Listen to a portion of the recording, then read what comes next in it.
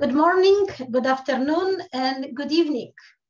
Allow me to extend a very warm welcome to all of you who are joining us today. We are delighted to have you across so many time zones and continents. Dzień dobry, dobry wieczór. Witamy Państwa bardzo serdecznie i cieszymy się, że tak wielu z Państwa dołączyło się do nas. Let me first welcome our distinguished guests, Judge Rasooli and Judge Parsa, the crisis team members from the Polish Ministry of Foreign Affairs, Mr. Szymon Kurzawa and Ms. Karolina Smaga, Ms. Nigara Omar, the deputy senior diplomat from the Afghan embassy in Warsaw, and Mecenas Ania Kruszewska, the Polish lawyer who is the key to the events we will describe today. We are delighted and very grateful to have all for to all of you for accepting our invitation to speak today. My name is Elizabeth Zechenter. I am a visiting scholar at the Emory University, president of Jagiellonian Law Society, board member of the Philadelphia chapter of the Kościuszko Foundation, and member of American Bar Association. I will be your moderator today.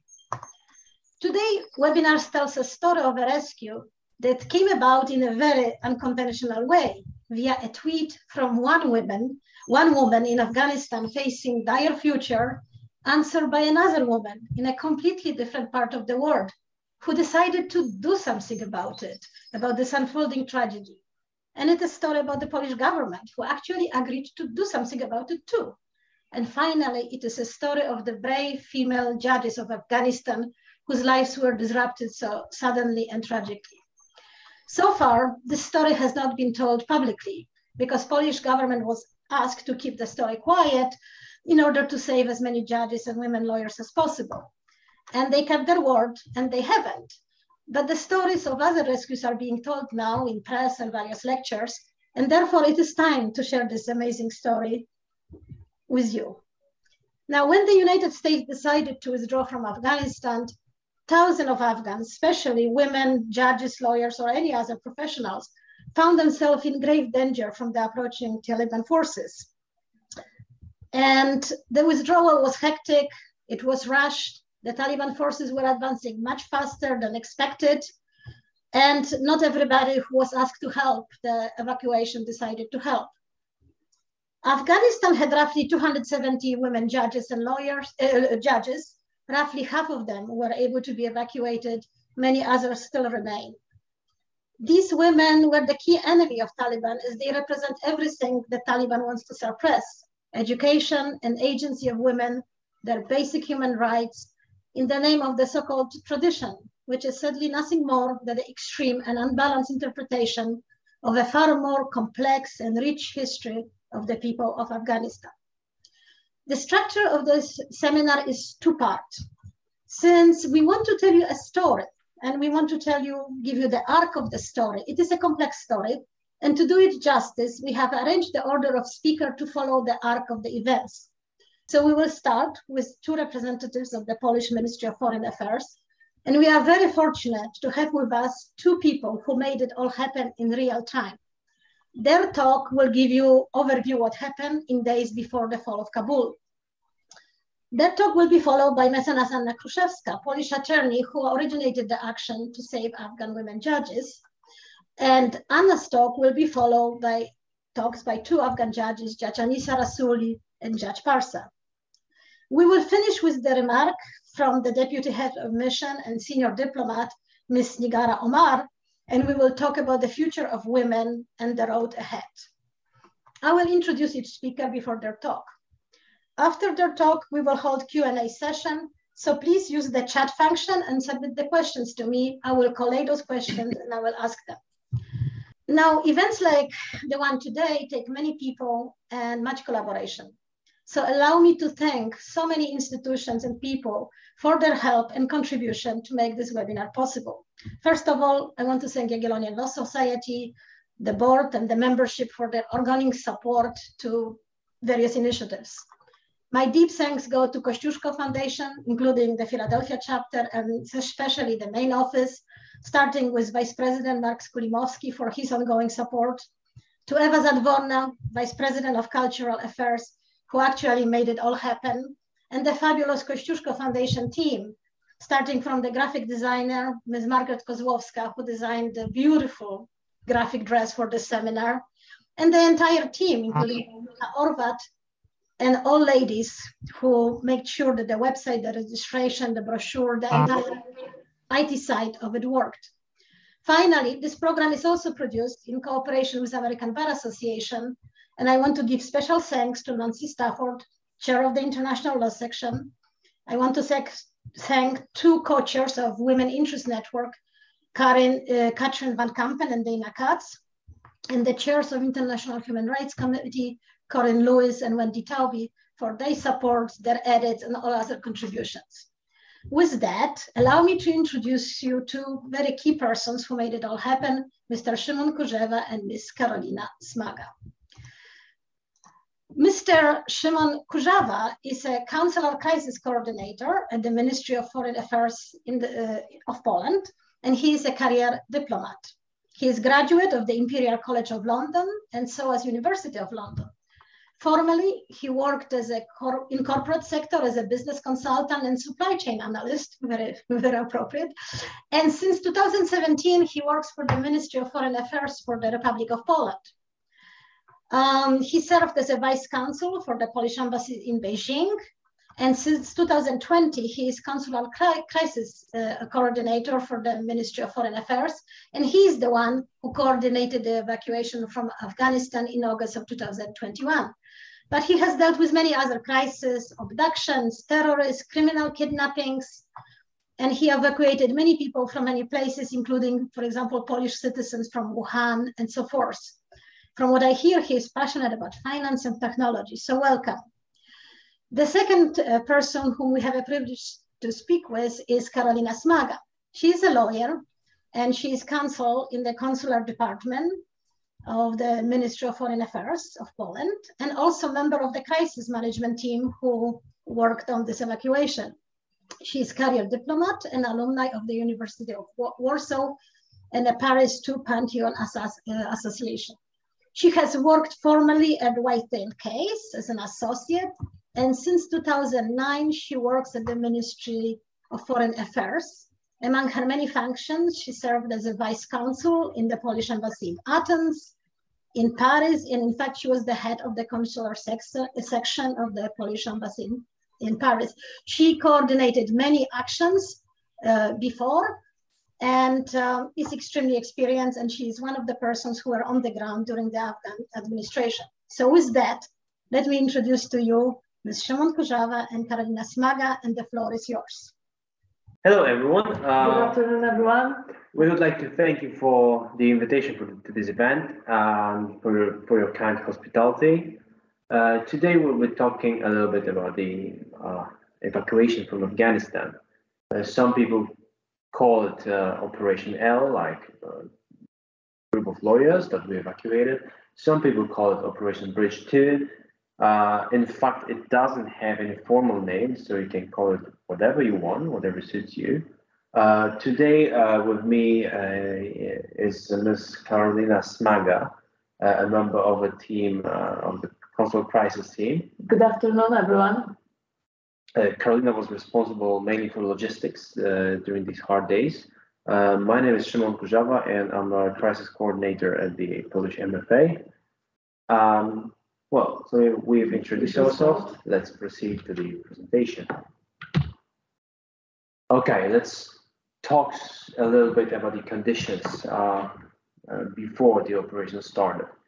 Uh, we had extremely short time span from before the time uh, from, from before the decision was taken uh, and primarily uh, the, the operation the whole operation was aimed to evacuate several Polish citizens uh, shortly after uh, we decided to, um, include uh, some um, former employees of the Polish embassy, former employees, translators, interpreters of the Polish military units there in Afghanistan uh, in the name of solidarity.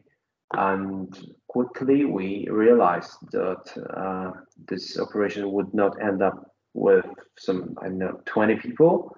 The total number of evacuated, uh, of, evacuees was more than 1,000, 1,200, I guess. 100, I think, yeah. Yes, because um, the we could not leave the the families of these people alone. So we have to we had to uh, consider them on our planes.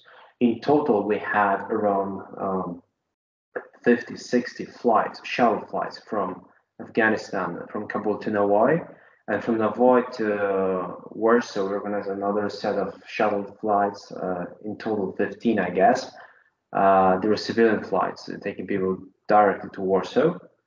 Um, so the logistics were pretty difficult. We had to organize everything within literally hours. Yeah, We had to like one afternoon, I think. one afternoon or something like that. Yeah, we had to pay pave our tracks to, uh, from like just basically organizing airplanes, the the, the physical planes, to signing uh, international agreements with uh, Uzbekistan uh, and so on and so on. So there was uh, a lot of hassle, but luckily we we managed to do everything on time.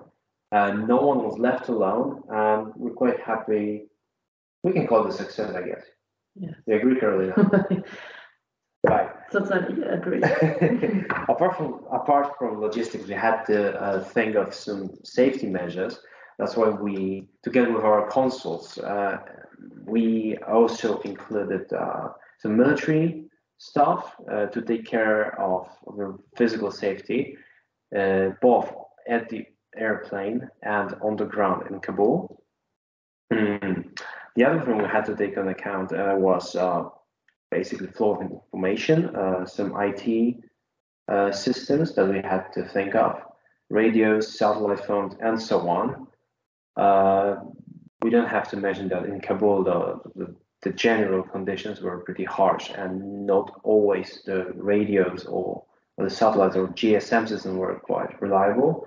So we had to improvise from time to time. Mm, one of the major challenges was a short time from uh, mm, the gathering point to to the actual flight. Because when people reached the airport uh, they had only around 40 45 minutes to, to get on board and, uh, and fly away. So uh, yes as as we started our operation um, several new challenges uh, appeared and um, Karolina will tell you a little bit more about just basic logistics uh, uh, challenges, such as lack of uh, medication, such as lack of uh, what was the name of that? Uh, sanitary, Yeah, sanitary the first need, uh, first need, uh, uh, first aid stuff. yeah. Uh, So, uh, because there, there was, um, here in Poland, I was uh, not only responsible uh, with uh, Szymon to, to, to, to do some work of evacuation and to do the list of uh, evacuated people from Afghanistan, I was also um, obliged to organize some kind of logistical, logistical um, assistance, such as purchase, buying uh, kind of, uh, as we said, uh, first need products like uh, some tampon, tampons, uh, Wipes, Wipes, wipes, yeah. and so and medicines because uh, the, the, the, there was no such a thing uh, in uh, in Kabul. They were, I think that they they, they, they were told to that the action evacuation of uh, from Afghanistan was uh, uh, foreseen for some kind of two days. uh, yeah, and the, the, said the initial plan was one or two days Yeah, and to have everything sorted and just leave the ground. Uh, in, it took uh, some kind of two weeks, I think. at, at the end of the day, it took two weeks. So uh, basically, we, we were not ready for such a long. Yes, so we needed to send all these uh, products, all those products to Navoy and after to, to Kabul. And they were redistributed to Kabul. Uh, s- yes, uh, for Afghan people and for staff. Uh, uh, Basically, uh, it was meant to, to be distributed among our people because, uh, like war, like uh, as, as we in said, water, yeah. yeah, it was planned for two days, so we had to supply additional war, uh, other supplies, uh, food, uh, some I don't know snacks and so on. But uh, obviously, there were so many people there uh, that needed to be taken care of. Uh, our I'm gonna people, see after. like immediately when, when they saw those starving people, starving, tired people, they just started sharing the food. So the needs obviously increased, and we had to supply uh, foods for I don't know more or less 100 people a day. That was super difficult, but we we made it basically. Uh, There hundreds of women, some uh, expecting babies. Yes. Uh, but yeah, after all, everything was fine. Well, lack of wheel transportation. Uh, in a minute, you will see what I'm talking about. And the Abbey Gate as well. So let's proceed. This is what the Abbey Gate looked like. Uh, this is the spaces between the checkpoints. Uh, I'll walk you through the checkpoints later on. But as you can see, we dealt with huge numbers of people. Uh, here's the picture of, um, of basically the airport. Uh, as you can see, um, people uh, at the Gate had to uh, pass through several checkpoints. They were stopped with Taliban uh, guards, and it was quite difficult to, to, to, pass through them because many, many people were stopped uh, by Taliban, and some of them were refused to, to go further. Uh, after, hmm, let me skip to the other slide. Yeah, after uh, around four kilometers from the entrance to the Abbey Gate. Um, they were uh, led to the uh, the Baron Baron Hotel, and from the Baron Hotel they were moved to the uh, to the tents where our staff, our crew was initially initially like identifying them uh, were proceeding security checks and after that, they were uh, gathered uh, near the tarmac where, where the planes landed. And then they were grouped and put on the planes. Uh, sorry, sorry about that. Uh, here's the conditions of, of our temporary accommodations of, of our crew. As you can see, it's quite cozy. Uh, this is our car. So basically, um, when we when our people arrived in Afghanistan, we had no means of transportation on the ground. Uh, quickly after, we had we realized we need some sort of uh, bus or or anything that has four wheels uh, to enable transportation of the of the Afghans that were both tired and uh, they needed some exhausted. They were exhausted and need some some form of transportation was required by uh, by the authorities at the airport. Uh, so our our guys acquired this lorry. Uh, uh it might look funny, but it was quite reliable. Um, I would say impeccable because it hadn't uh, hadn't broken a single time. So that was super. That was a great car, Toyota. Mm, right. Uh, this is what the on-site uh, conditions look like at, at, the tents. This is the place where these people were interviewed, uh, verified, um, the documents the documents were checked, uh, and their identity and so on. So they were uh, they were fed there and they were given the the first care. So the whole process looked uh, as on the slide.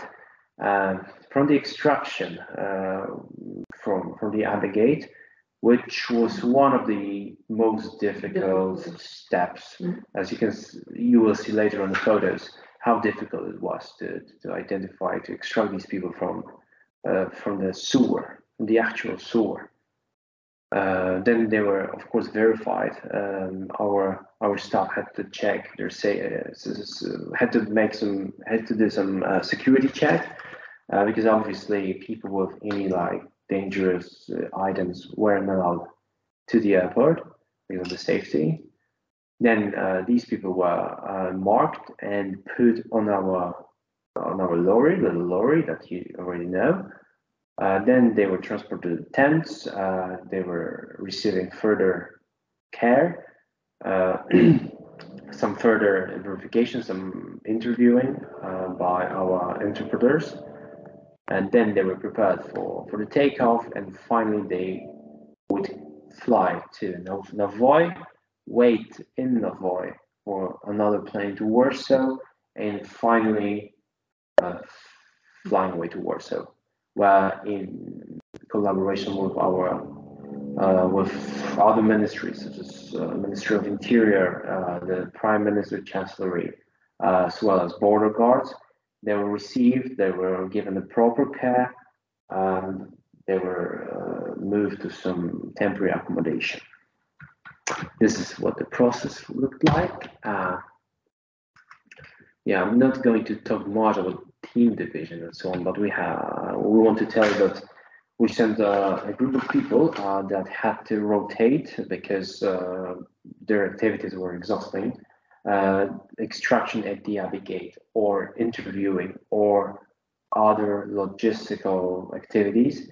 They were super, super uh, exhausting because of the temperature there, because of the conditions, lack of proper sanitary means. Um, they had to rotate, they had to change the shifts. So basically, they had to be separate into several teams uh, that could uh, manage all those activities.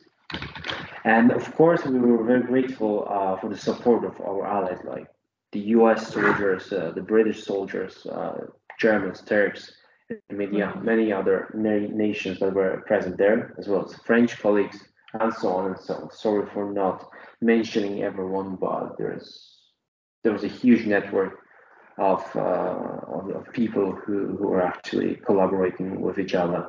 And because of that collaboration, everyone was able to succeed. Not only in Afghanistan, but also in Uzbekistan. Yeah, Yes. Exactly, exactly, yeah.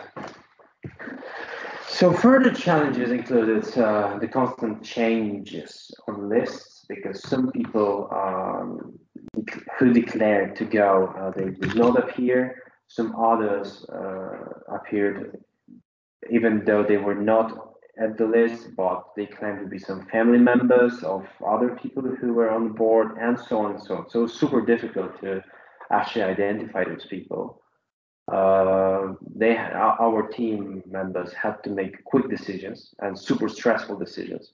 Sometimes they were forced to say no to someone who, who actually had no links with Poland or with the people who who were on our list. Mm, so there was a huge uh, psychological pressure. Um, that was super difficult for them. Uh, I mean, really difficult. Mm, and I don't think like anyone would like to be in their in their shoes. Some of them had no documents. Yes, and they had to come up with some forms of verification, even if the people without document appeared. Uh, we collaborated, we in the headquarters collaborated closely with them. So if we had access to some documents, uh, some traces of the people who collaborated with the Polish military uh, contingency, such as like interpreters and so on, Mhm. uh, we were asking the Ministry of Defense uh, if they had any documents. Um, and Just a birth certificate or something. exactly, that. so we had to come up with quick uh, forms, quick uh, processes, uh, just to take as many people on board as possible. Um, right. And as the time went by uh, at the Abbey Gate, um, the, the, the general conditions uh, deteriorated quickly. Uh, there were many people uh, crowding. Some from time to time, the Taliban just refused to let people in. Uh, sometimes uh, there were threats of terrorist attacks, and unfortunately, a few of them happened uh, close to the end of the operation. But um, as you probably know from the media, the situation there was really, really tough. Many people were trampled to death. Uh, there were many incidents. Uh, also, our our team members, our military, our consuls were constantly under threat, under the severe security risks. Um, they were they're really aware of that. Uh, we tried to assist them as much as possible, but obviously uh, you're not there, so you can't do much. Mm, you can imagine what they felt on the ground, but they really were driven, I would say, driven to help those people, and they did not actually feel that much stress of uh, being threatened. They did not feel like endangered, right? They didn't, they they, even when we talked to them uh, without the scan, they did not show any signs of like being afraid. They're just there, you know, trying to help uh, the Afghans. Here are the pictures uh, of the sewer uh, uh, where the people were extracted from, uh, together with some other military. And you can imagine these people at the sewer, they had to walk through like three, four kilometers in such conditions. Uh, as you can see, there is a Polish, or uh, I think, yeah, Polish flag. Uh, there's yeah, Polish flag upside down, but uh, yeah. even yeah, uh, uh, as a kind of it, to be extracted from this sewage. Yeah, so there are several signs like Polish flag, like like PL done by from the from the from the finger yeah i think yeah, yeah. some gestures some signs so we had to come up with uh, quick forms of communication with the guys we've never seen yeah uh, and to identify them quickly we had to sort of popularize this method and it worked pretty well because uh, some people on the ground were uh, in touch with the Afghans via WhatsApp, for example. Yes, but we had um, to change it. Uh... And we had to change the size quite regularly because, uh, as you know, the news spreads quite quickly. Some people try to pretend they have some rapport and so on, so they use those gestures. So we rotated them like daily or twice a day.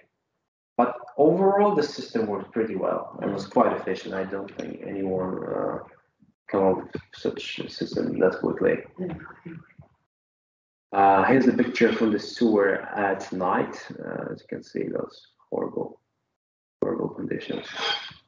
But the military, uh, our team members, and other country, like the military from other countries, were working there day and night, uh, trying to extract as many people as possible. I consider. Uh, so you can see outside Poland, other guys had this card, paper sheet with saying Polish, uh,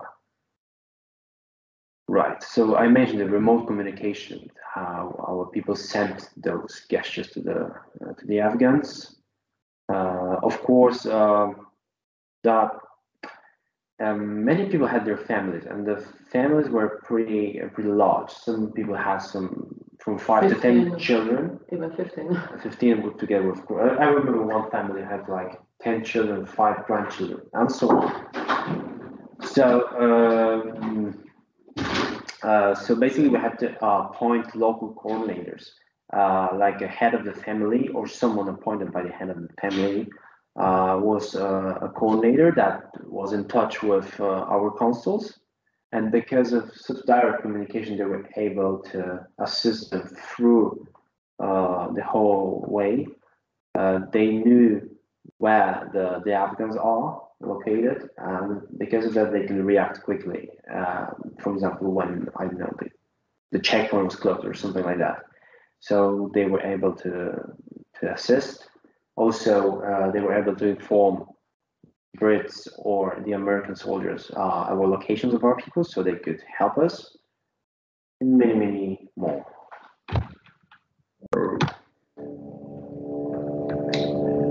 This is how the one of the steps our journey looked like.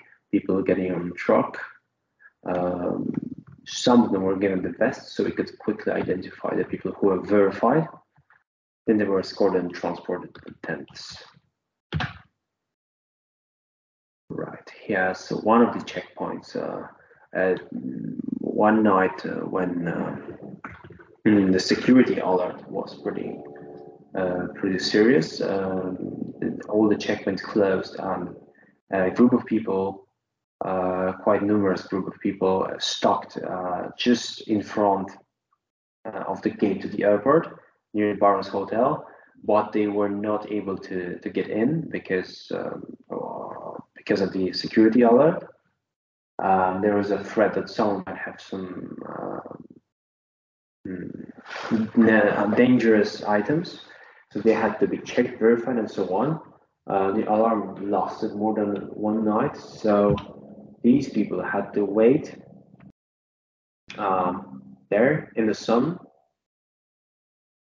And uh, some of the women uh, needed an emergency help, like the, the women you can see with uh, little children. Uh, they needed some water, some medicine, some assistance. Uh, our councils, our military had to get in the airport, grab some necessities, and get out to the danger zone just to provide uh, foods, uh, medicals, uh, and other, other medical help, and other uh, other stuff to, the, to, these people. So they're risking, basically, they're risking their lives just to help those uh, women and those kids. Here's what it looks like at night. I can see tired soldiers just taking some naps. Well, I don't think that requires any any comment. Well, yeah. Uh, sometimes we manage to get people in uh, on convoys. Convoys. Uh, one of the one of the convoys you can see as the IMF's convoy uh, organized by IMF, and many lawyers from your group were actually on this convoy. And thanks to the IMF's help, uh, thanks to the Pakistani embassy's help, uh, the collaboration of our minister and Pakistani ambassador and local uh, Pakistani authorities, we were able to to get people and to the airport without uh, without uh, having to cross the, the the Abbey gate. So they basically avoid all the hassle. Uh, I don't remember the number of lawyers uh, that were on, on, on those buses, but I guess it's a pretty significant group. So you can see uh, the actual cars uh, that were traveling. And yeah, after two weeks, uh, the operation ended. Uh, our last plane took off several, I know, se several quarters before the the major the major terrorist strike, where where many people died. Uh, this is what it looked like after the operation when all those military from all those countries left. Uh, the picture on the right is quite uh, notorious. Uh, you can see the the cart. Um, there's just nothing left. So uh, I guess that's it from my side. Uh, I'm happy to answer any questions if you might have. We can write us on, you can find us on email, on LinkedIn, or whatever, uh, or you can ask uh, Miss Anna uh, about our our email addresses. Uh, Karolina, would you like to add something? No, just uh, say thanks to our ministry to give me such a support opportunity to, to work for this um, special operation. Yeah, that was very uh, valuable experience yeah. on my side as well. So yeah, thank you once again. Have a good day. Uh, have a good time with listening to this uh, to this presentation. And yeah, all the best. Thank you. Thank you very much. Thank you. Thank you both. Thank you both. Yeah, no, I, I just want to I want to thank you, commend you for everything you did. I speak for all of us here. We are incredibly grateful for what you have done. It was an amazing action. And thank you so very much. Thank you for joining us today. I know that you have to go because you have other engagements, but we are very grateful for joining and more importantly, for what you have done. Thank you so much. Uh, thank you for your hospitality. We'll pass the thank you words to, to our team members and to many, many more people that were involved. But we're really happy we could just, you know, uh, Yes, and please hey, do not forget, let me not forget to thank the Polish soldiers who actually left the gate and took the risk of going and extracting people just to save those Afghan women judges and went to the crowd and took the risk of, you know, terrorist attack and whatever. Thank, please thank them from us very much. Thank you. Thanks a lot and good luck with the presentation. I know it will be great we'll see the replay uh, after we're done with our application. Thank you so, so Thank thanks a lot. Have a good day and bye. Have a good weekend. Bye. Thank you very much. Take care. So with that, um, I am gonna now introduce to you our next speaker, and this is Anna Kruszewska, an attorney, a partner in a boutique firm of Hasik, Rheims and Partners. And she's professionally an excellent lawyer, a lawyer who is specializing in intellectual property law, copyright law, media law, protection of personal rights law, technology law. She is a deeply accomplished attorney with high, you know, who participated in many high profile lawsuits and represented many high profile people. Among them, for example, the family of Władysław Szpilman. Those of you who saw the movie Pianist know his story. He was a very famous pianist, Polish Jewish origin. Uh, she also represented daughter of the former president Kwaśniewski, and she represented them in cases involving their privacy and their reputation. She advises on many other things. For example, she advises producers of computer games in Poland. She's lecturer uh, in the Polish Chamber of Patent Attorneys. She published, uh, you know, legal commentaries, and she is the recipient of the Rising Star awarded to as a stars of the Polish legal profession by LexisNexis, which we all know. She is graduate of the law department of the Warsaw University, of course, summa cum laude. We couldn't expect anything less. She also has a law degree from Cardiff University from United Kingdom, and she took courses the, for the Center for English and European Laws, organized by University of Cambridge, as well Center for American Law, organized with Faculty of Law at the University of Florida. And Anya is here not only because she's an accomplished attorney, actually not because she's an accomplished attorney, but because she's the initiator of the evacuation of Afghan judges. And she's the woman who started it all. Um, she consulted with International Association of Women Judges she talked to the ministry and she organized the whole thing to happen. She, she made the whole thing happen. She hasn't stopped doing all those charitable deeds. She runs currently a group of informal group of lawyers. They call themselves Legal Aid. It's about 100 lawyers from Warsaw, from many, many firms. And they are right now helping the refugees from Ukraine. Among others, they are supporting children from the Ukrainian orphanages. And um, Anya is a versatile woman, and Anya, the floor is yours. Thank you so much for all these beautiful words. Thank you so much. I would like to thank Jagiellon Law Society, Kościuszko Foundation uh, for having me here today, but mostly you, Elizabeth, because you are initiator of today's event, and without you, the world would not know about those events. So Thank you so much. Thank you, Anya. And there's a lot of things to say about events from last August. And I would like to share as many relevant details as possible, but I know that our time, our audience time is limited. So let me focus on the most important, I believe, the most important moments of, um, of the story. Uh, and let and let me share a little presentation that I prepared for today. Let me start from here. Um, so as you heard, I'm a lawyer. My regular job has nothing to do with human crises as Szymon and Karolina uh, job is, but I'm amazed with their job. And my part of the story is a bit more, I would say, personal and irregular in the same time. The first slide I want to show you is why we call it Operation L, which is one of many names of this operation. It's because of the L sign that you can do with two fingers, which was, which was used by Polish soldiers to recognize, extract from the crowd those who were on Polish um, evacuation list.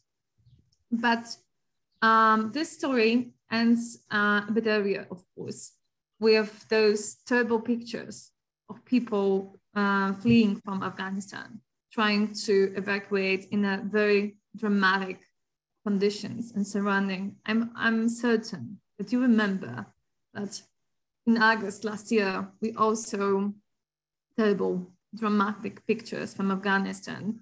Well, whole westward, but also Afghan citizens were trying to leave immediately Afghanistan before Taliban will take over all of the country. And I remember myself coming back from very nice holidays in beautiful Italy just to watch the news and see these pictures. And it was a terrifying experience to me. And watching this news, I came across to the tweet with a link um, of an interview, interview given by young and brave judge, Afghan female judge, Judge Teyeba Parsa, who is here with us. And Teyeba was brave enough, extremely brave, to publicly and under her own name and her picture, with her picture, say to the world that if the Taliban take Kabul, she she will die. And she mentioned not only her, she mentioned not only her, but other Afghan female judges.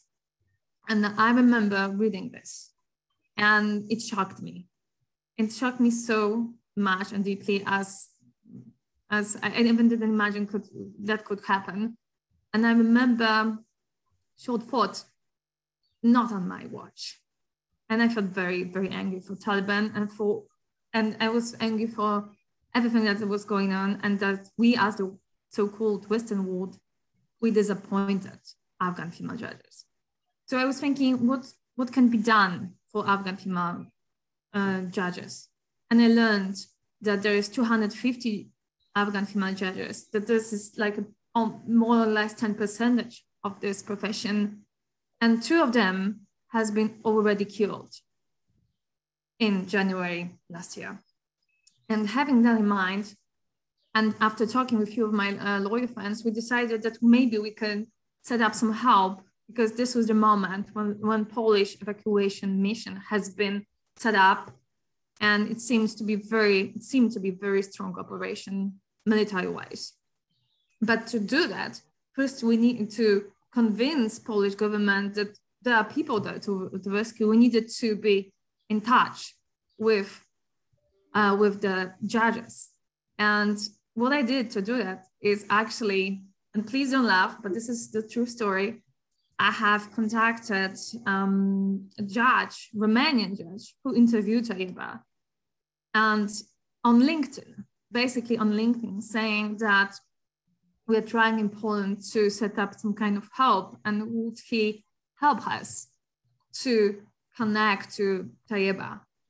And in the, the very same day, he had given me number, WhatsApp number of Teyeba. Next day, we were connected. Me, an apartment in Warsaw and Teyeba in Kabul. I also contacted uh, a journalist who interviewed Judge Anisa Rasooli, who is here with us. Uh, it was Italian journalist. Um, and I, I sent him very similar message. And the very next day, I received message back from Susan Glazebrook, uh, the president of International Association of Women Judges which is international association who is trying to set up some kind of help for Afghan female judges. Susan contacted me saying, are you real? Is, is it, something that Polish people can do for Afghan female judges? As at the time, it was very, very difficult to obtain any help to female judges because as you probably know or can assume, everyone tried to desperately leave Afghanistan in like two weeks. It was it was extremely now open, and those who were prioritized were those connected with foreign governments. The judges were not connected to any government, so they were not prioritized on any government lists. Uh, so what happened next uh, is that Polish government, especially Michał Dworczyk, the minister Polish government, who was in charge of this very special operation, has decided that Polish mission will include Afghan judges, not only include them, but prioritize them, as it was said before, because this group is particularly, was then particularly vulnerable to this situation. And from that moment, we set up a collaboration between Polish government, Polish forces, um, International Association of Women Judges, and Afghan judges. And by Afghan judges, I especially mean Judge Tayeba, who became our communication officer. And through her, we can communicate with other judges. And that's how we managed to inform other judges that there's a way, there's a country who is willing to take them on board and take them out of Afghanistan. But this is one part of the story, which is getting all these puzzles together. The other one is to make things happen. And by making things happen, I'm talking about the judges getting to the airport, which was extremely, extremely dangerous to them. Not only because getting to the airport was uh, the way to the airport was controlled by Taliban, but also that if they were recognized, they could face even death. So we are talking about this kind of uh, situation. Moreover, it wasn't easy to cross, uh, to get to the airport as Talib checkpoints were there. And usually Talibs were leaving those checkpoints only once a day at 4 a.m. where they, uh, they were praying. So most of the people were standing before these checkpoints all night just to squeeze in, sneak in to the part that has been controlled by American or British soldiers. So what was going on is that I was uh, receiving messages, of calls from Polish authorities, people the, involved into in evacuation mission, as the one you heard just before, with messages saying that it's possible to uh, get to the airport at some time. And my job was to inform judges that they have to leave to the airport. And with all seriousness of this event and what I'm and my words, I'd like to say that there's no words that were more difficult for me to say that, than the one I had to say to each of the judges that were on the evacuation list when I was calling them, which was, are you ready to leave immediately? And the judges were packing themselves with very small bags, taking the closest ones who were also on the list and starting this very, very difficult road. And uh, maybe I will show you how the road looked like. There were crowds, as you see there, immense crowd. And it was very, very difficult to get just nearby the gate, which was, and the wall that, is con- that was uh, controlled by the, by the Polish soldiers as well. And these Polish soldiers, to find people on the evacuation list, needed to get into the crowd and find those on the list. As, as, and as you heard, there were special signs in case of a judges, the special sign was G, letter G as the judge. Sometimes it was PLG, so that should connect them with, uh, with Poland. Sometimes it was name of the, uh, of the Polish cities. Anything that would enable Polish soldiers, Polish special soldiers, uh, I mean, special task forces, GROM, was, who were there find judges in the crowd. Not only judges, because there are also other people on Polish evacuation list. I will name them later. So what I've been trying to do is to connect those who were going to the airport with the communication from Polish uh, authorities. And it was, it connected a lot of sending information uh, very quickly um, as communication is a key, in fact, in situations like that, when you know there's very narrow, uh, narrow window for someone to get to Polish troops. So we are sending each other our locations. Yeah, you have you see the example of such a location here. Uh, we are we are exchanging messages. Some of those messages as sound still in my head, somewhat very dramatic, like the one you can see on the, the right side when someone has written me that he's like 100 feet from the from the troops, but Taliban is not letting anyone in, and so it, it, it wasn't a trip to the airport. It was very difficult difficult road that in included a lot of barriers, life risking situation, a lot of determination.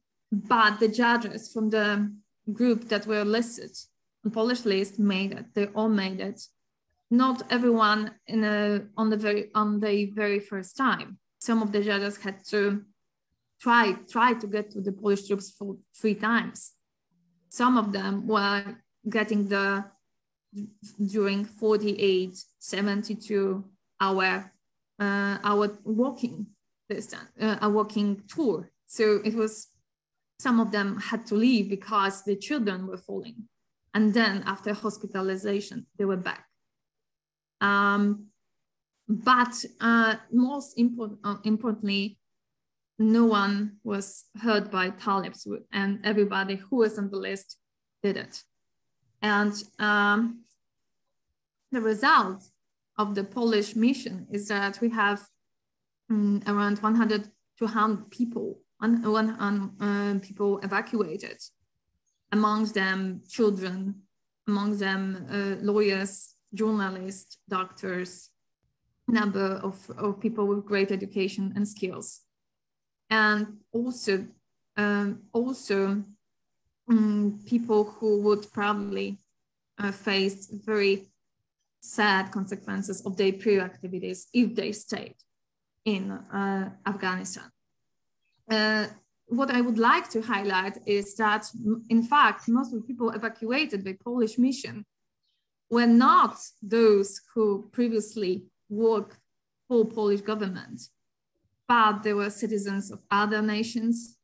They were, uh, they were workers of International Money Fund, workers of different organizations, judges, and so on. Mm, but this is not only a story that I would like to share with you about beautiful evacuation, but this is also a story about friendship and about welcoming judges in Poland. And after the judges arrived, so after the judges arrived, they be welcomed by Polish authorities. You can see here some pictures from an event special conference in Prime Minister office, where the judges were welcomed by Polish Vice Minister of Foreign Affairs, Mr. Marcin Przydacz, that I would like to personally thank for his uh, involvement in this action and support for Afghan female judges. Um, except that the judges were also were also visiting a Polish Supreme Court and being uh, and there was a meeting with uh, president of Polish Supreme Court. Uh, and many, many other occasions where I am hoping uh, the judges felt welcome by Polish citizens, by authorities, but also by other lawyers, judges, and professional colleagues. Um, the one of the story about that is, uh, is, uh, is the picture that you can see here is a picture taken in Polish Bar Association that also came into help Afghan female judges after then being uh, they have been rescued, uh, as well as uh, Polish judges, number of lawyers, um, individuals, group in, of volunteers that together created beautiful community of people helping this group. And I'm very, very proud to be a member of this group. Um, also, we are still having the support from uh, Polish Prime Minister office that I would like to thank a lot today because they still, they, they funded a special program for Afghan female judges. And this program allows them to stay in, in good conditions, learn Polish, and have the basic needs uh, met. So, and this program is still on this year. Um, but at the, at the very end, and the most importantly for me, this is a story about friend, friendship as well, as I believe we created beautiful bonds between, uh, between us. And I believe I personally gained great friends, not only me, but I would like to share this a little bit personal thing with you, as uh, I'm touched and honored to meet women, Afghan female judges who are so brave, determined, and beautiful human beings that I am being inspired by since the day we met. Thank you. Thank you, Anu. We are inspired by you too.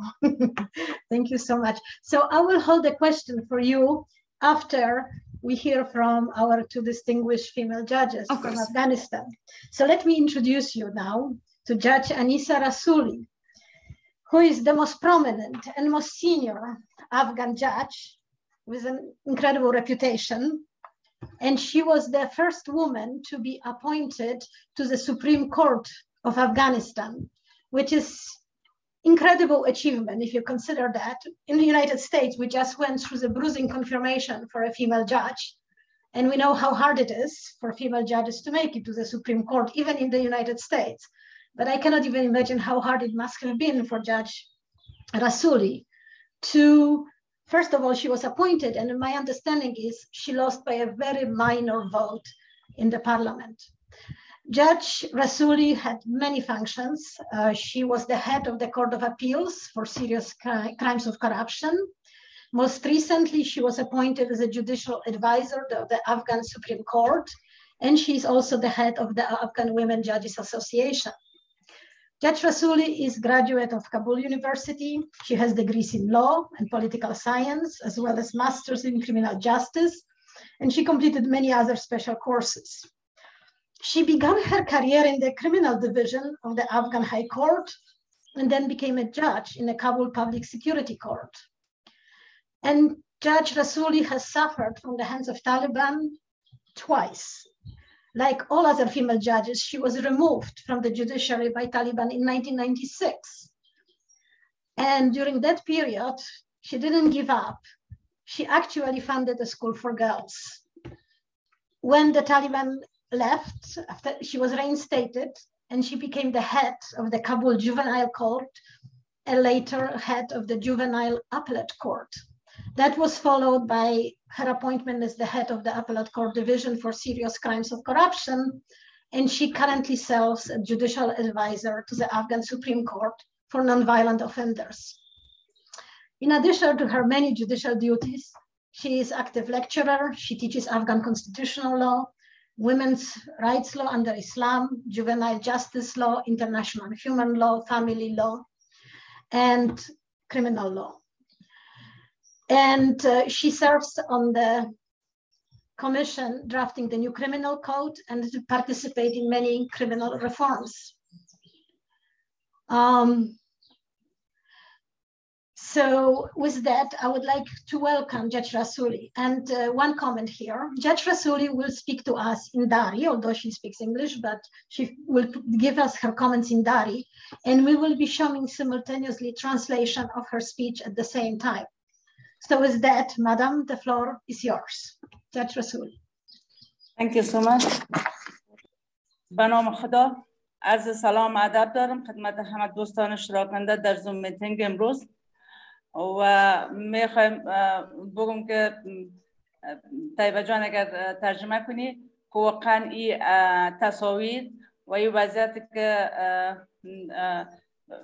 دوباره از طرف عبدت ماجرین و از طرف خانمنا بر ما نشان داده شد. واقعا مرا به مو حالت و وضعیت نو ما قبل بود واقعا احساس کردم که در اطراف میدان هوایی هستم و به همون قدر مشکلات. Uh, Judge Tayeba, you are, we cannot hear you, you are on mute. Uh, no problem. uh, before her speech, he wanted to add something. Uh, she said uh, the pictures and photos from the Kabul's airport that uh, judge that the Miss Anna shared uh, was so um, impressing, and she remembered the situation that nine months ago she was there, and uh, it was it was so sad. She felt again that uh, she was there, and she remembered again uh, the situation the hard, tough uh, time that we had. به نام خدا سلام ادب دارم خدمت همه دوستان اشتراکنده در میتینگ امروز قبل از همه اظهار سپاس و قدردانی می‌کنم از انجمن حقوقی یگلونی و بنیاد کوشیشکو کشور پولند که در این میتینگ بنده را شامل ساخته و زمین صحبت و ابراز نظر برایم فراهم شده است. قاضی انسا رسولی یکی یک تن از قضات زن افغانستان هستم. البته قاضی کشوری که ما زنان با مبارزه و تحمل هزاران مشکلات و ناملایمات زندگی به این مسند رسیده بودیم. و با علاقه مندی وافری که به مسلک قضا داشتیم با تمام نیرو و توان تلاش کردیم. صادقانه و شجاعانه خدمت کنیم و با امیدی که بتوانیم با ایجاد یک انگیزه مثبت برای امروز و فردای بهتر قضات زن در سیستم قضایی برنامه ریزی کرده تا در تامین عدالت و تحکیم قانونیت دست بالای داشته باشیم. که چنانچه هم داشتیم. اما درد و دریغا که همه آرزوهایمان ذریب صفر گردید و نظام قوی قضایی کشور با کدرهای مسلکی و برزیدهش در بخصوص قضات زن در یک شبه از هم پاشید و متاسفانه که امروز تحصیل تجرب تبهار و سرنوشت تمام قضات به خصوص قضات زن نادیده گرفته شد. و حتی محو گردید. حالا می‌خوام در ارتباط به پرسی انتقال یک تعداد از قضات زن با فامیل هایشان به شمول بنده. از افغانستان توسط نظامیان کشور پولند البته به راهنمایی و همکاری خانم انا کرویشسکا و با هماهنگی انجمن بین‌المللی قضات زن صحبت نماییم. در قدم من خواست ازار سپاس و قدردانی می نمایم از رهبری دولت پولند نظامیان کشور پولند که در شرایط بسیار حساس و خیلی خطرناک.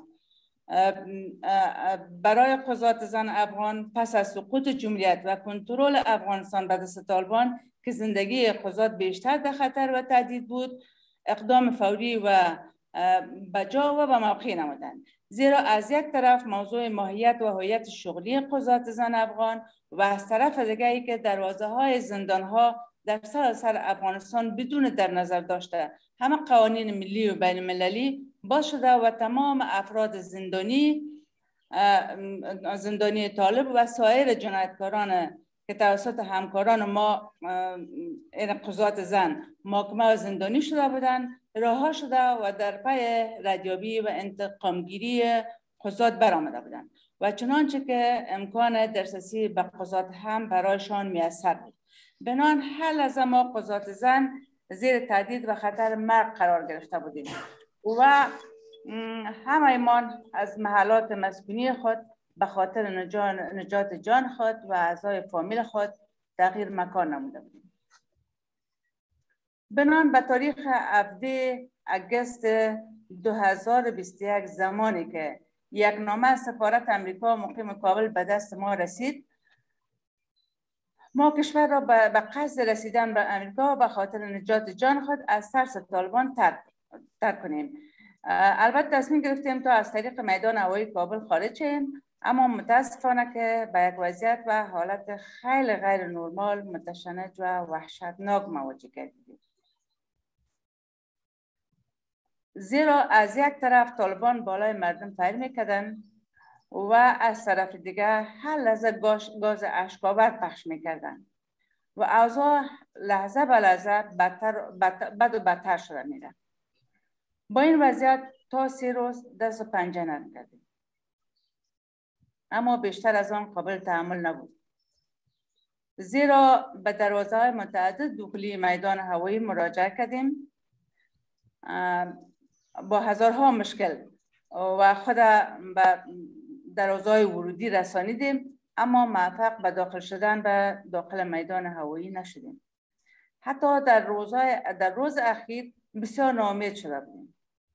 و در اون زمان فقط به این فکر می‌کردیم که چطور از بین ایدود و آتش ما نجات پیدا کنیم. و حتی تصمیم گرفته بودیم که دوباره به خانه های خود برگردیم.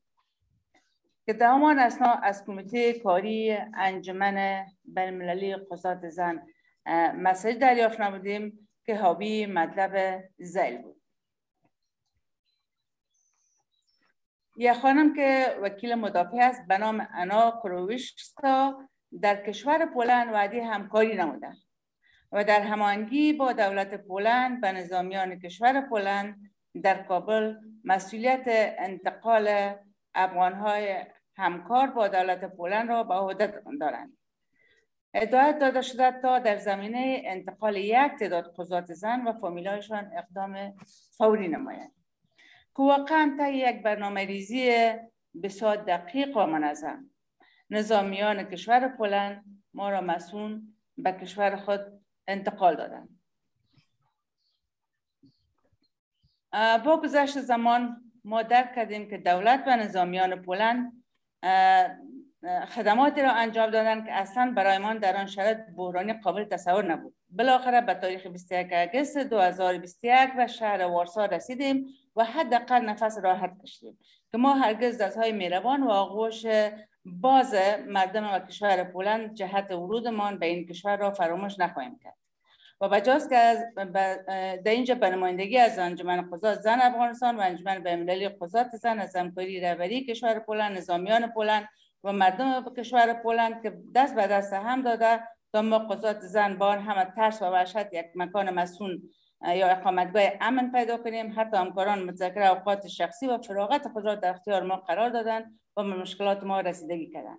و قابل ذکر می‌دانیم این که مردم پولند نه تنها که وظیفه بشر دوستانه را به افغانستان بلکه به کشور اوکراین که فعلا ما می‌بینیم بیشتر از میلیون مردم اوکراین اینجا به حیث مهاجر آمده برشان رسیدگی میشه و در پولی ازی به یک تعداد دیگه هم مسیر داده میشه. البته انتقال میشه به کشورهای اروپایی که یک وظیفه بسیار مقدس و واقعا یک وظیفه بشر دوستانه است که ما برشان موفقیت آرزو می‌کنیم برخلاف همسایه افغانستان که با ما چی کردن تشکر از توجهتان امیدوار هستم که وضعیت افغانستان خوب شود Thank you, Judge, Judge Rasoli. Um, I will now introduce you to Judge Tayeba Parsa, a younger judge, a judge with equally amazing history. She is, uh, she was, I'm sorry, she was a judge um, in the commercial division of the appellate um, court um, of Kabul province. And she was also communication officer for the Afghan Women Judges Association before Kabul fell. Judge Parsa is the one whose tweet started this whole affair. And thanks to her, actually, many judges were saved. She holds master's degree in criminal law and criminology, and she graduated from the Islamic Sharia Law School of Kabul University, in addition to having any other, you know, many other trainings from various other international organizations like Global Rights uh, Organization and Legal Aid. Judge Parsa became a lawyer to protect people's rights against various injustices and rampant violations and corruptions that is happening and was happening in the very corrupt legal system of Afghanistan. So she wanted to be a judge, but she wanted to be a good judge, not just any judge.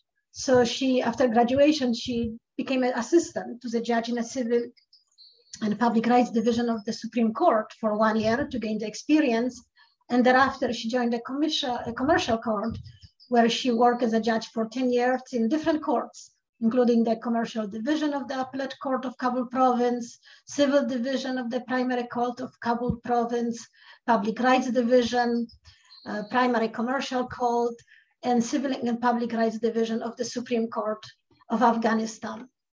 Um, if you haven't seen it yet, please see the very moving, in my opinion, and beautiful statement made, personal statement made by Judge Teyeba, Teyeba in the brochure that is listed on the website of both Jagiellonian Law Society and Kosciuszko Foundation. So Judge Teyeba, the floor is yours. Thank you. Thank you for your nice words. If you don't mind, by your permission, I would like to read my uh, papers because I don't want to miss any point. Um, hello and greetings to everyone. First of all, I would like to thank you for inviting me to, the, to today's event. I'm so happy that I, uh, I have the chance to talk about uh, Polish help to us, Afghan women judges. And uh, because I believe it is the most successful example of uh, such humanitarian operations, and I uh, wish to talk about my reasons for this claim since I have been evacuated to Poland. Let me start a story from the time before Kabul fell. for 20 years, Afghan women judges courageously dedicated their lives to the rule of law, justice, and democracy. We were always a target of the Taliban's attacks and threats uh, for two crucial reasons. First, the Taliban believes that uh, women are not uh, allowed to work as judges. Second, many of the Taliban fighters involved in terrorism and have been put in jail by these women judges.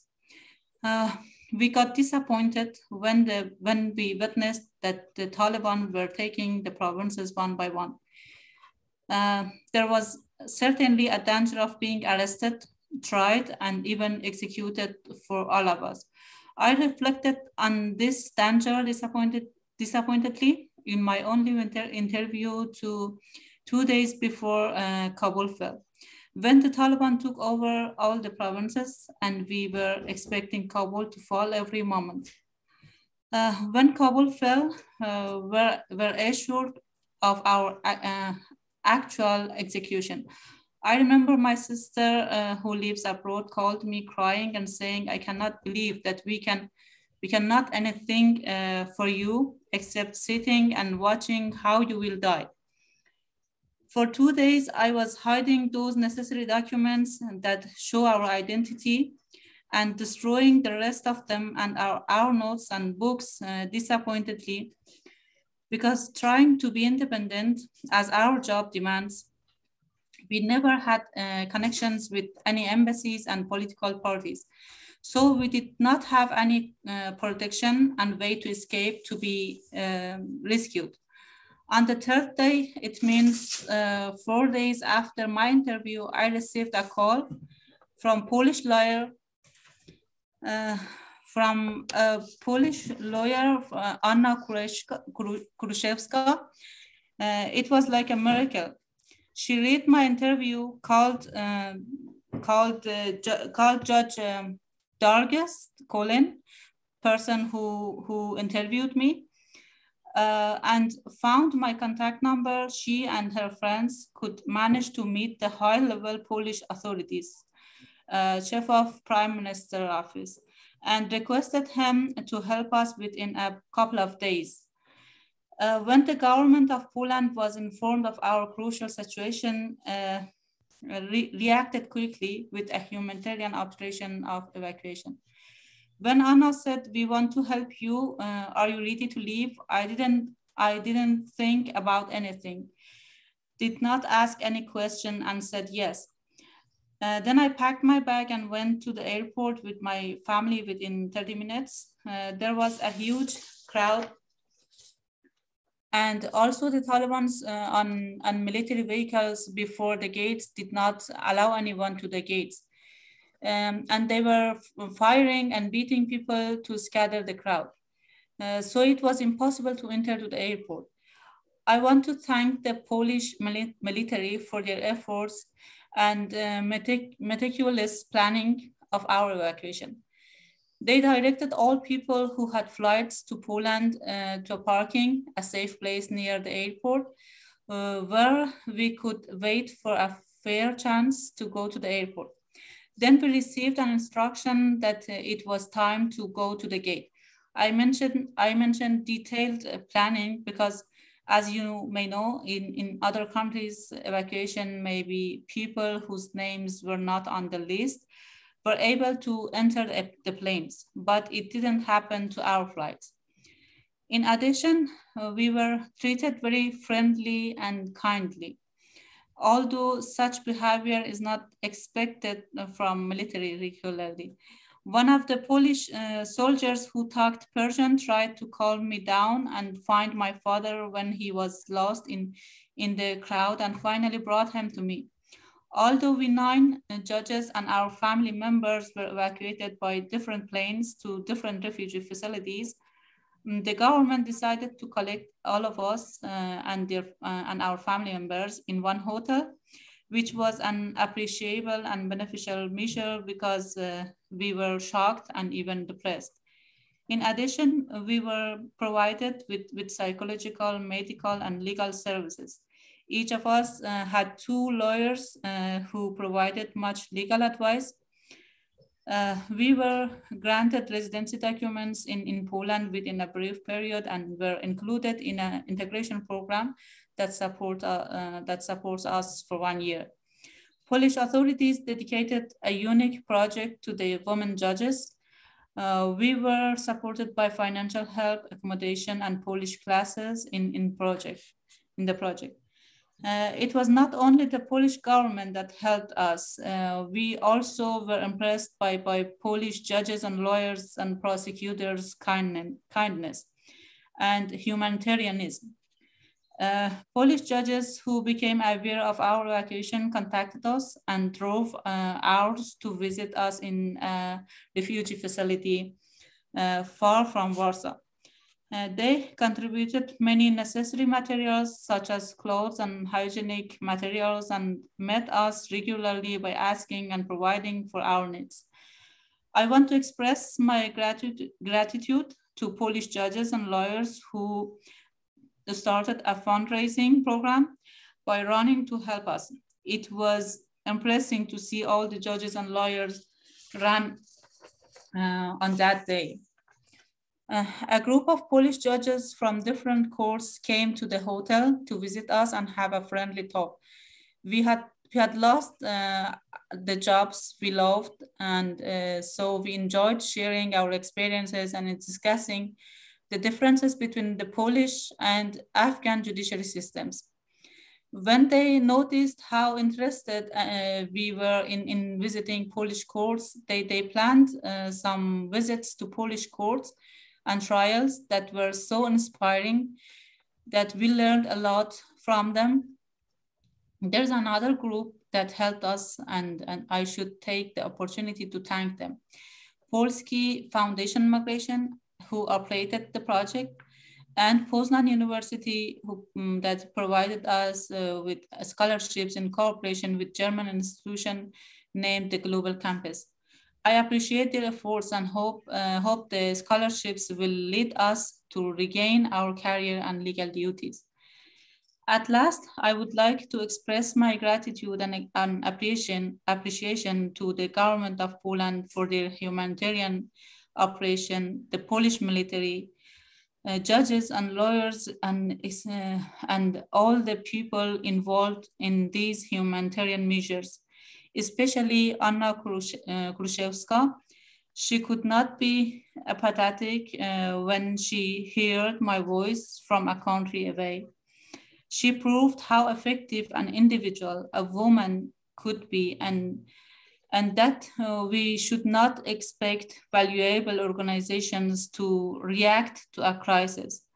When the Polish operation was done, uh, Anna didn't stop yet and uh, she wasn't satisfied still.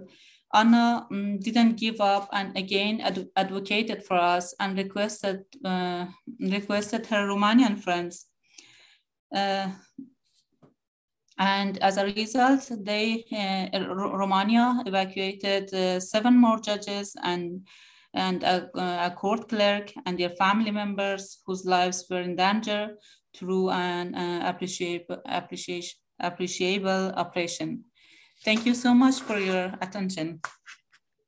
Thank you so much, Judge Parsa. Thank you You're for welcome. everything you've did. It's admirable. So let me introduce now, introduce you now to our last speaker, last but not least, Nigara Mirdad Omar.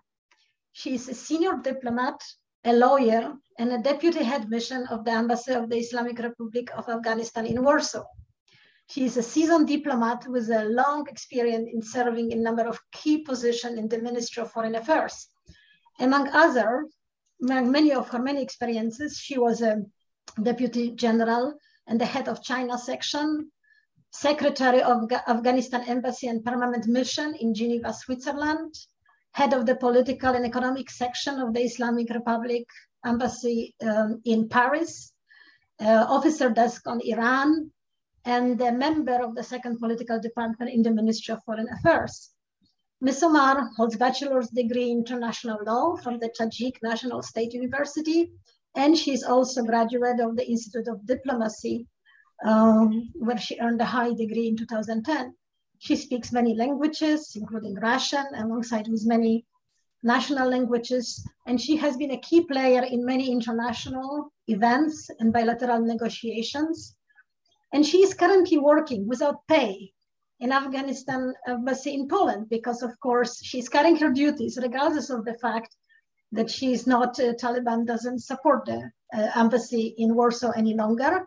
They haven't appointed any other diplomats, but Afghan people still needs the consular support. And therefore here she is doing her duties without pay. So we are honored to welcome you. Thank you so much. Thank you for your kind words. Uh, first, I would like to thank the organizer for the timely and important uh, webinars uh, and giving me uh, this opportunity and honor to speak among you. Uh, and also on behalf of the um, Islamic Republic of Afghanistan here in Warsaw, I highly appreciated all efforts supporting Afghanistan peoples. And a special thanks to Anna and her teams um, who has been supporting uh, tirelessly from the beginning of evacuation Afghanistan judges up to now. Uh, on the 15th of August, uh, the gears start uh, and uh, Poland uh, withdrew from, uh, however, Poland withdrew from Afghanistan in 2014. But I witnessed the government and the people of Poland um, were among the first angels who took the risk and uh, flew to Kabul and rescued uh, people. Uh, the operation was uh, were successful and uh, hundreds of lives changed. Uh, they arrived in Poland and overnight and the day following they were in a, Um, when they wake up but no fear. Uh, the rest of operation were talks weeks and, and months. And uh, however uh, uh, uh you know they cannot um, believe that they are in a safe hands uh, no more bombs and killing. Here once again the, the history will record it you know uh, the, the history will record it that here is still greatness nation who are care about uh, humanitarian uh, violence uh, and uh, there are, uh, within nine months, they got a normal life and the children back to schools. And many, um, but in many other their family and friends in Afghanistan with no security, no foods, and no schools in their homeland, unfortunately. They are the, they are the Taliban consider themselves as a base uh, people in the world. Um, uh, I, I remember from the one year how much the people of Afghanistan learn about Poland. And I believe that hundreds of hearts beating and laugh when they are called Poland, when they called Poland. And uh, uh, from now, uh, I will uh, mention again, the history will remember the, the, the people and the nations who are sacrificed for the human being and who are genocides their own countrymen.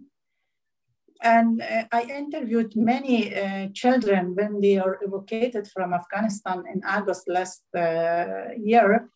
And uh, they have been, uh, they told me that they have been uh, rescued from Taliban, that they, they wanted to kill us. This means a lot. You know, the, it is stuck on their their minds. Uh, we have uh, we have achieved in past 20 years in following achievement with support of international community. I want to mention here few of them. Uh, we had 20 pers 27 percent of uh, member of our parliament were female uh, more than 5 million girls uh, were going to the school and university. Uh, we had more than uh, eight ministers and ambassadors. Uh, we had more than 6,000 female members in the security forces. uh, women and girls uh, had significant role in the labor market and society and many other uh, enterprises like restaurant, taxi company uh, were running by the women. And it was growing very fast. Uh, at the international level, our girls uh, team uh, delighted in robotic, uh, music, sports, and also in our, and the first time in our history, we had uh, judges in our, female judges in our court. Uh, but now, what is happening right now in Afghanistan and the most serious women rights crisis right now, today in Afghanistan, in the world. Uh, the list of the, the list of Taliban violation, uh, of the right of women and girls is it is long and growing.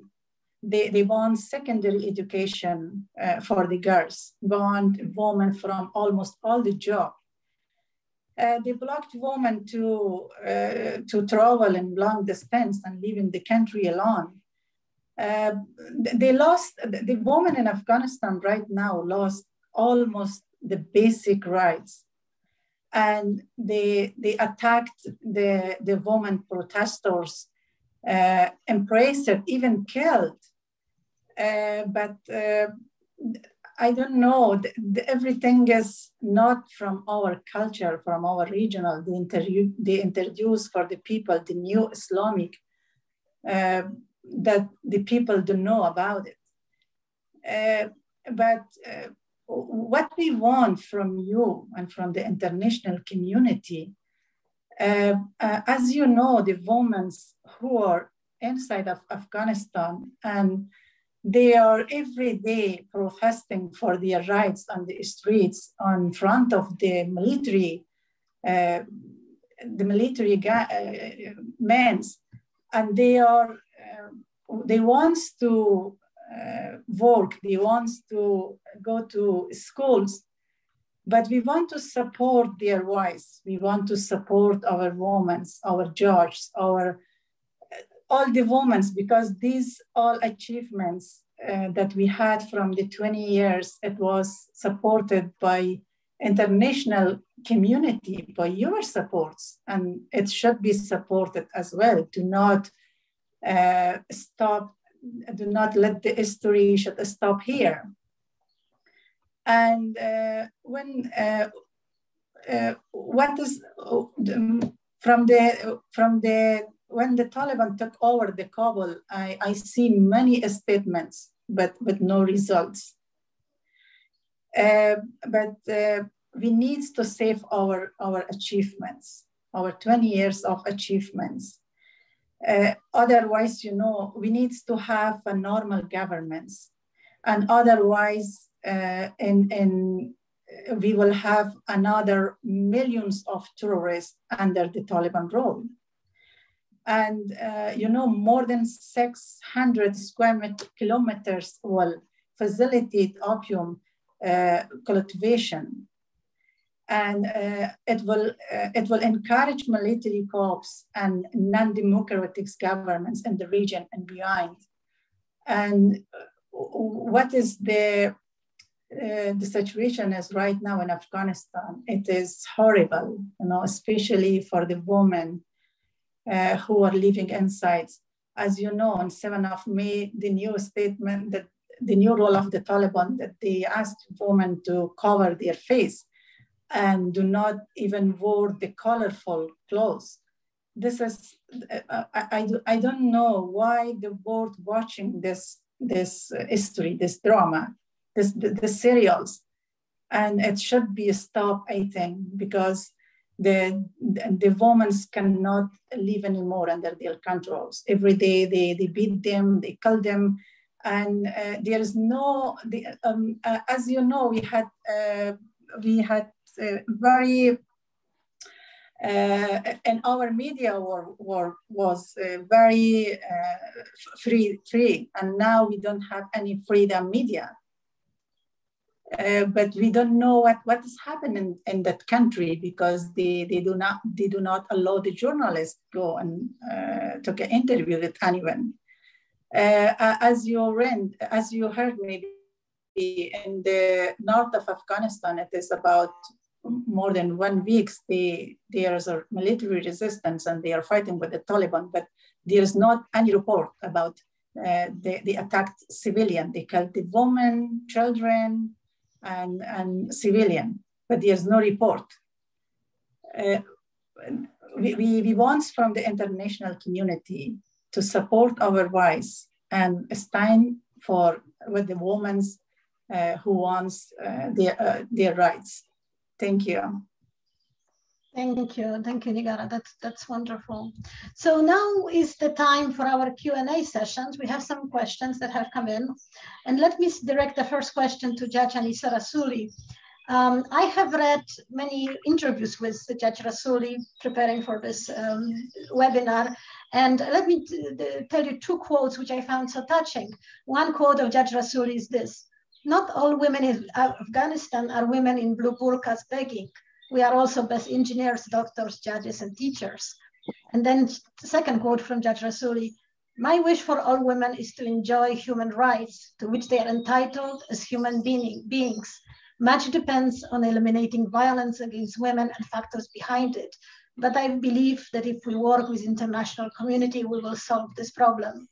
So Judge Rasooli, how do you think the situation of Afghan women, or Afghan judges especially, and Afghan professional women looks today?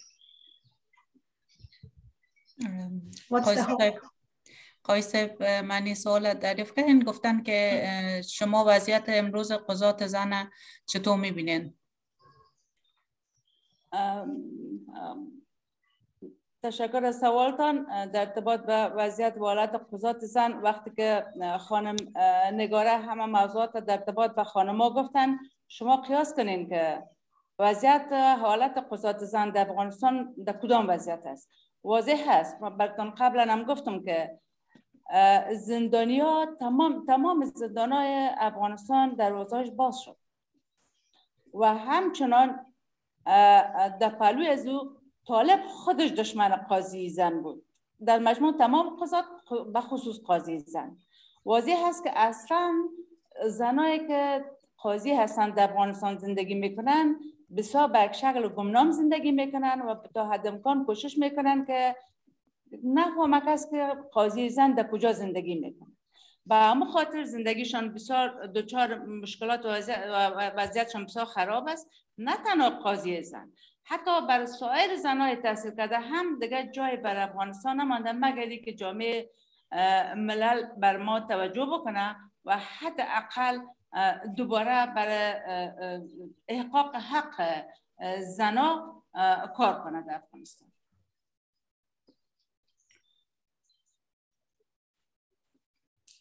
Uh, uh, I'm translating uh, her nice words. Uh, she said, as uh, Nigara John mentioned, uh, and described the situation of women in Afghanistan right now after Taliban came. compare yourself the situation of women especially women judges.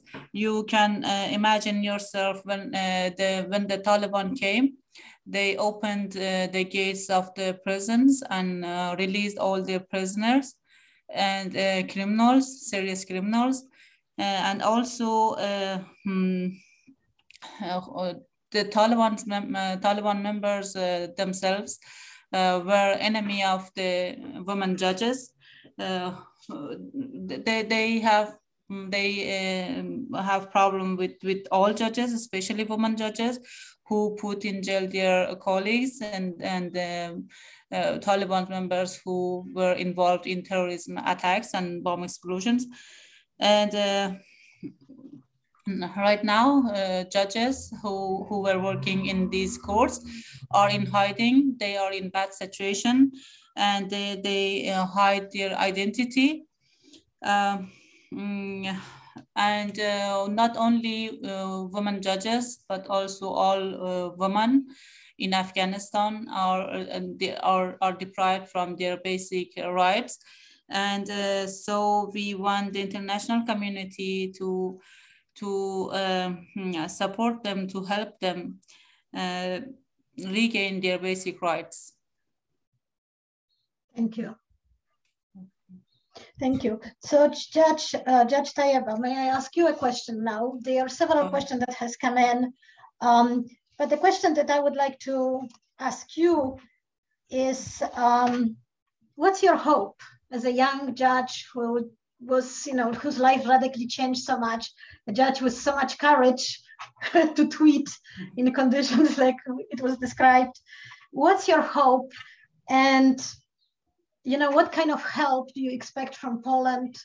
Um, how do you feel in Poland? Um, what's your what's your hope for future as a judge? Um, as a woman? I hope, uh, I hope um, one day Afghanistan, uh, again in Afghanistan, uh, rule of law and justice, democracy govern again. And uh, I hope all the women judges who are left in Afghanistan uh, receive protection and support from international community. Uh, I actually ask international community and also all the governments to help them to safely leave Afghanistan and uh, for right now but uh, and also help all judges who left Afghanistan with scholarships and and visas because some of them are in bad uh, situation in Abu Dhabi in uh, refugee camps waiting for visa of their final destination. And um, uh, and I hope all of us, all the lawyers, uh, professionals who left Afghanistan, um, um, uh, do not get disappointed, do not give up, and um, try to rebuild um, their lives, to try to build their capacity, and use this tough time to to build their capacity. And I hope one day uh, we women judges can bring uh, the rule of law and, and democracy and justice back to the people of Afghanistan. Thank you, Judge Barsam. You're welcome. Um, let me ask the final, um, the question that I that, that's in my mind to to uh, Ms. Uh, Nigara. Um, how do you think women of Afghanistan, what can they do right now? I mean, we know that Taliban just introduced the law that women cannot leave without male assistance, cannot leave the house, that they cannot be, they have to be completely covered. The only thing that can be seen is their eyes behind the veil.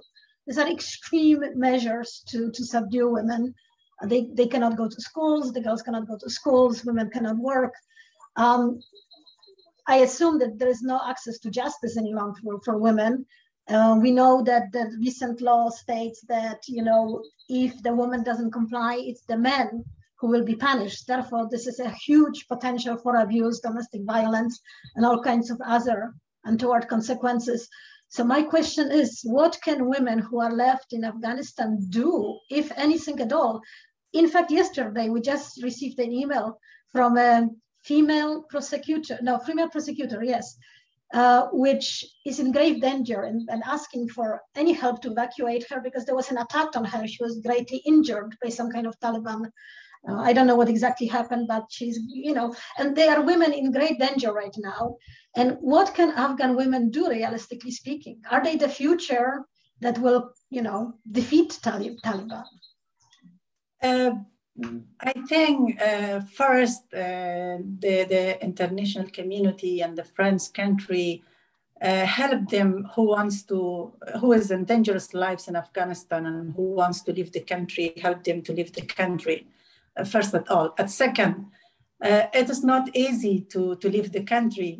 Uh, um, I'm in this, uh, you know, it is uh, very hard for me to take a decision to leave my work right now. As you know, as you mentioned, it, that it is nine months, uh, nine months that I'm working with, without any salary.